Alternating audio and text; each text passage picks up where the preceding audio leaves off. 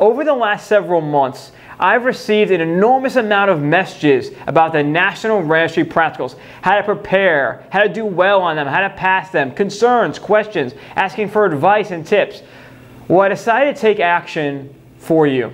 Over the last several weeks, I've sat here at my desk here and I've put together a 50 plus page guide from EMT, advanced EMT, and even the paramedic level on every single thing I know, every tip, every insight, every best practice in order to pass your National Registry Practicals. So you can go in on your exam day, on your station day, and do extremely well. Be confident walking in because you know the steps. Now here, on the screen here, I'm going to show you the table of contents.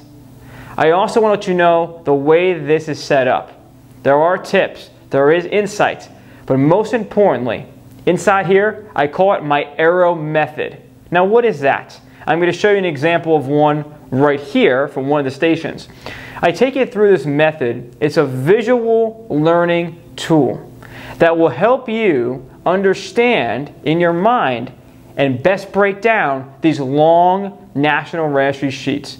You name the station, it is on this guide. Every single station you could possibly get, even the random ones for the EMTs and advanced EMTs, are covered. Right now, this guide, you can get access. It's either above or below, depending on where you're seeing this right now. It's been my honor over the last several months to help so many of you. We are National Registry written. Now, it's my turn to help you pass those practicals as well. This will be absolutely life changing as far as helping students with National Registry Practicals. Real quick before I go, the best use of this guide, you want to take the sheets that your instructor gives you and pair it up with the notes that I have.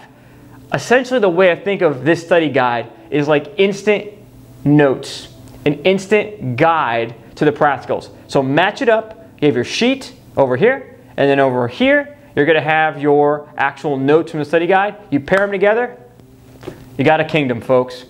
My friends, much love to all of you. Thank you for all the kind words and support about what I do, and we have great things to come. Get access above, below, depending on where, on where you're seeing this, and I'll see you on the inside.